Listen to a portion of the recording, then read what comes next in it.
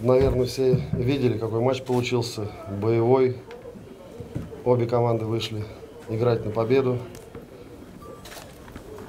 У меня к моим футболистам вопросов нет все-таки. Играть против лидирующей команды здесь на равных дорогого стоит. Не знаю, правда, какими критериями, критериями воспользовался судья, когда назначал этот 11-метровый. Я думаю, что всегда хочется побеждать честно. И мне бы как тренеру, наверное, было бы стыдно, если бы мы выиграли с таким неоднозначным пенальти. Но в целом, еще раз хочется поздравить команду Арсенала с победой, наверное, они заслуженно идут на первом месте.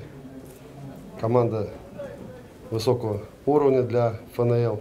Ну, я считаю, что наша команда ни чем сегодня не уступила и по самоотдаче, и по борьбе.